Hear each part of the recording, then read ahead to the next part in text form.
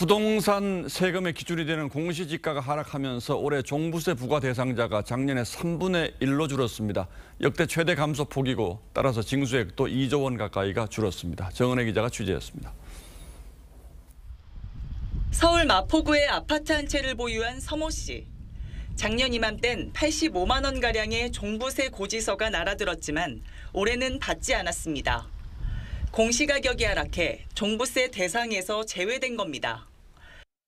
종부세는 저기 지방치밖에 없는데 사실 너무 사실 재산세도 여기 되게 많고 돈 물가도 엄청 올랐는데 되게 그 도움도 많이 되고 주택 보유자 중 올해 종부세를 내야 하는 국민은 총 41만여 명.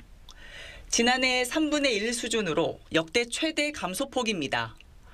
전체 종부세 대상자는 10년 만에 처음 줄었습니다.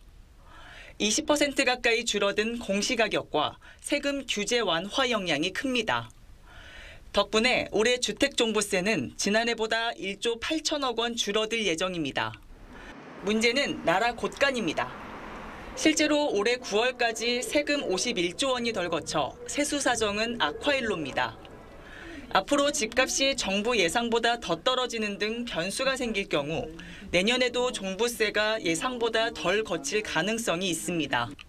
종합부동산세는 국가에서 세금 걷어서 광역지자체, 기초지자체별로 이렇게 배분하는 형태의 교부세 형태였기 때문에 예산 운영 이런 면에서도 다 축소될 수밖에 없고 지난 정부의 징벌적 과세 논란은 해소했지만 계속될 수 있는 세소 부족은 윤석열 정부의 부담으로 작용할 수 있습니다.